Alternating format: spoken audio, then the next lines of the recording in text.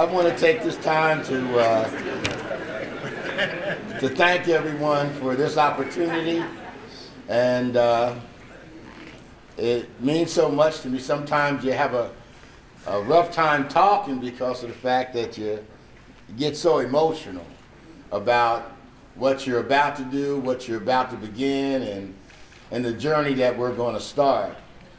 But I, I, I couldn't begin anywhere without introducing the guys that been with me for a long time.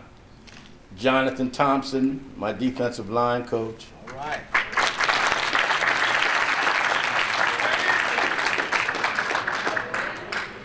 Greg Black, my offensive line coach.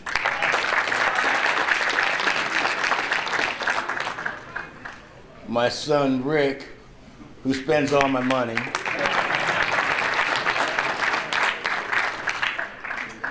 And Coach Hayes, my defensive coordinator. These guys have been with me a long time, and you know they let me along uh, for the trip, and we've had some great, great times together winning. And this is what we expect to bring here. Not just winning on the football field, but winning in the classroom. And, and I know a lot of people just say that, but if you're not winning in the classroom, you're going to have a rough time on that field. And we're going to lose you. We're going to put a lot of time, a lot of effort, a lot of work. We're going to chase you down. We're going to wake you up. We're going to go check classes, and we're going to do it right. If you're late five minutes, you better be five minutes early, or you're late, or you're gonna, or you're going to be late. And I just want to let you know that if you plan on playing at this institution, you have a lot of time to transfer. You have a lot of time to move on out if you have to. But right now, you're getting ready to play Division One football. And this is what we're doing. Um, it, it, it, it reminds me of just a short story I want to say to you.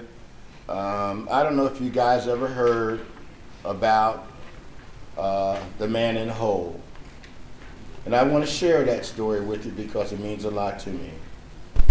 There was a guy, he was riding his bike and along along the pavement, and his bike fell down in the hole. And he was down in the hole and he couldn't get up. He was trying to get back up on top of the, trying to reach up, trying to reach up, but he could never get up there. And evening was coming around and he heard his mother coming by from the grocery store. And he says, Mom, Mom, please help me get out of this hole. Please help me. His mother says, Mike, I didn't raise you all this time. You're strong. I know that you can get out of that hole. I know you're just joking around. So I'll see you home for dinner at six o'clock. And he sat back down in the hole and didn't know what to do. Didn't know what to do. His friend came by going down to the basketball court. His friend, he called up and says, Jim, is that you up there? Jim said, Who's that? You, Mike? Is that you down in the hole? I can't see you. He said, Yes, it's, it's me. It's me. Throw me a line. Throw me a rope. Do something. Get me out of this hole. He says, You're the highest, you're the highest jumper on the team. You, you, you can dunk a basketball. Stop kidding around. I'll see you down at the I'll see you down at the court when you get down there. And he and he sat there and he said, Geez, I he tried again and he tried again and he tried again and he tried again and he couldn't get out of this hole. He just couldn't get out. The preacher came by.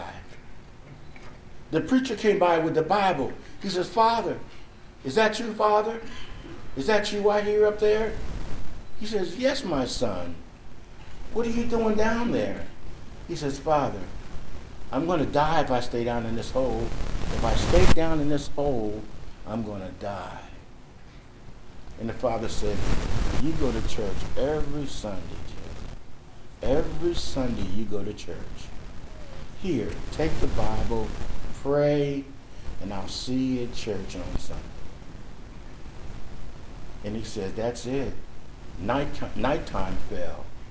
And he was actually dying in that hole. He was losing, air was getting out. He was actually dying. He was gone.